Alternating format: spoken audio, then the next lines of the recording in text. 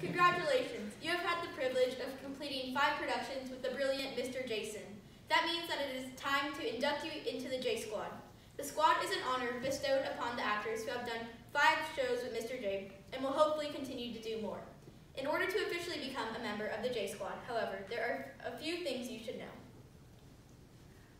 One, Mr. J really likes to include eating food in his shows. If the food is less than pleasant to the taste, there are ways to get out of it. One, it's a character choice to not enjoy that food. Two, get the tiniest piece possible. Or three, push it around on your plate until the end of the scene. Bryce's problem is now averted. but if it's tea, then just drink as much as you want. this is true. Mr. Jason is skilled in every field of musical theater, but at times he might forget what a certain eight count is. You should always be prepared and know all of your dances so that Mr. J won't have to go back and watch the video for the third time. After you learn your dances and know them like the back of your hand, be prepared to have Mr. J do some head bops and jam out to them. Mr. J enjoys including red wigs in his plays.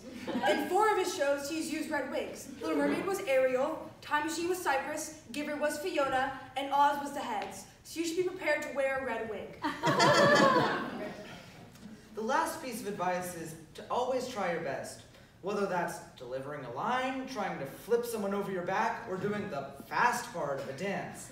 Even if you have to do it, say it a million times, don't give up until Mr. J says to stop or gives you a line. now for the fun part. There are a few sayings that you need to know and master before you can officially say that you're a member of the J Squad. Once you're a member, use these frequently, but wisely. One, two, three. Uncle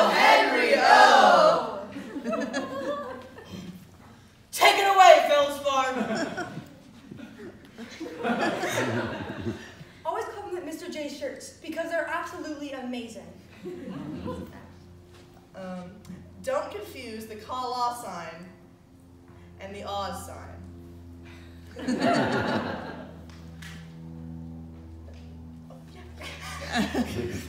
okay.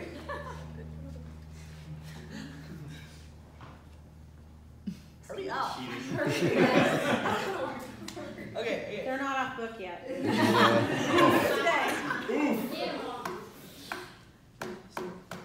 if you're an actor and you're on the rise, you can count on Mr. J helping you out. Cause he's awesome and directs